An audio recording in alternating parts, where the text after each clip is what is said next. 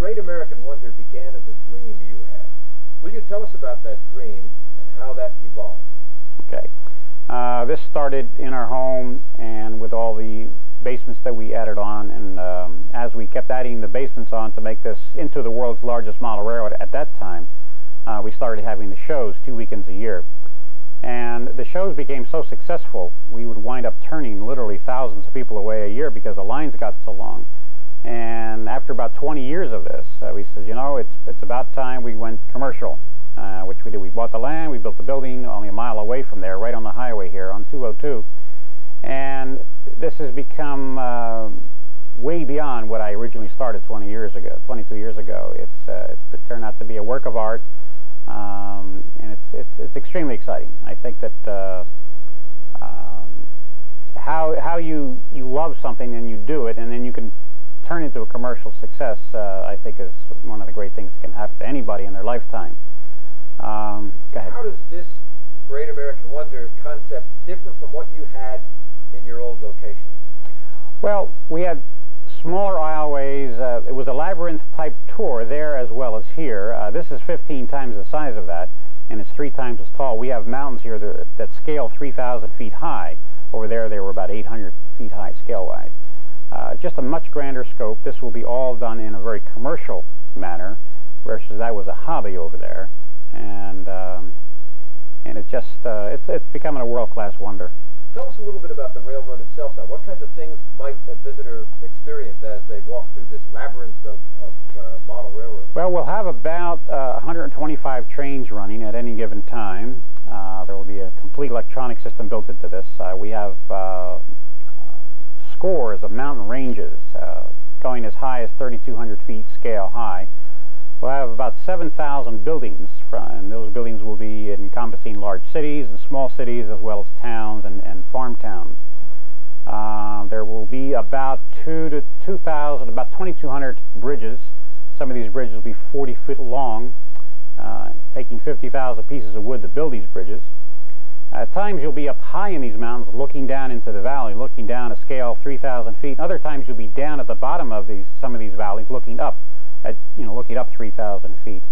Uh, the tour through the building, uh, the labyrinth tour, uh, is a one-way type thing, and it's a little over a mile long. Uh, there is food and rest areas all throughout. Um, have, we have everything from the Swiss Alps to pasture lands to towns to rivers to lakes. Uh, it encompasses quite a bit. Now, the model railroad is not the only thing that's located in this building. The Great American Wonder also includes some other exhibits and attractions as well. Will you tell us about those? Yes. Uh, for that one out of 20 that made me not totally interested in, in, in, in, and even though they like the railroad, we do have a, a full-blown doll museum with about 200 to 250. Uh, I mean, you know, yeah, we're on a roll here, and, and start all from the beginning, or no, can we no, cut it? No, okay, let's start with that question then. Okay, because uh, I shouldn't compare if somebody's not interested in the trains, they're going to like something. That's, that, that was no good. The Great American Wonder, in addition to housing a, the world's largest model railroad system, also will house some other interesting attractions. I wonder if you'd tell us a little bit about those. Well, we also have a doll museum. Uh, this will be 200 to 250 dolls. Uh, some of these world-class kind of dolls, uh, very, very valuable, very expensive. And we also have a full-blown art gallery uh, sprinkled all throughout here with about 125 paintings. Some of these paintings, half of them will be the prints of the masters with uh, some educational signs saying what they are and when they were painted. And the other half will be contemporary current um, uh, uh, paintings of contemporary artists. Um, we also have a theater, and the tour will take the people through the theater three times. There's a stage, there's a theater pipe organ, and we'll have at different holidays and certain some uh, live special days and holidays live entertainment uh, throughout the theater, and uh, this will also augment and accentuate the, the complete tour. Now, the theater and the model railroad and all of the other exhibits are kind of a strange marriage of a, a number of disciplines. How did you develop the interest in the pipe organ? And uh, you're an accomplished musician, aren't you?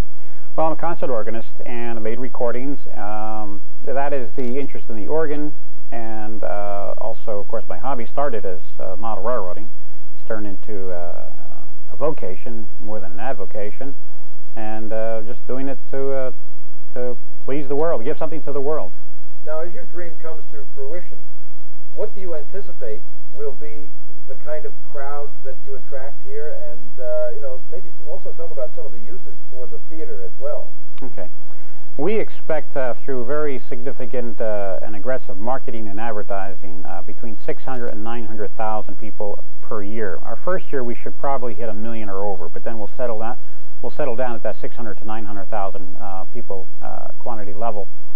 Uh, the building can hold 2,000 people at a time, and um, in your answer to the theater, in addition to augmenting the tour of the railroad during the day, at nights we'll have a community arts center here, and uh, this will encompass uh, small symphonette concerts up to 40 musicians on the stage, uh, organ concerts, guest speakers, classic films, and uh, and that type of thing.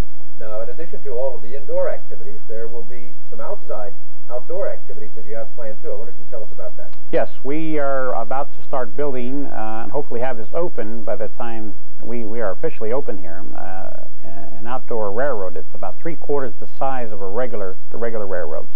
These trains will uh, uh, hold about 150 people, and at the far end of the uh, the railroad line there will be a pavilion with food and a merry-go-round, and uh, and at the close end uh, where they get on, they'll have a station and that type of thing.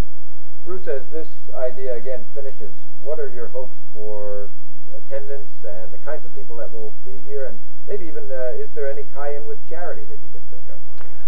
Well, the uh, as we did on the old railroad, the smaller railroad, uh, we hit a broad spectrum of people, uh, families just for an out, a day of entertaining. And um, once, if uh, once we are successful uh, and really moving in a year or two, we'd like to go into the inner cities and uh, hit the fresh air funds and give the underprivileged children um, free tours of, of our museum. Uh, and if you just hit one out of 20 of those that, that inspire them to stay out of the bad, uh, then it's worth it. That's it. Thank you. Okay.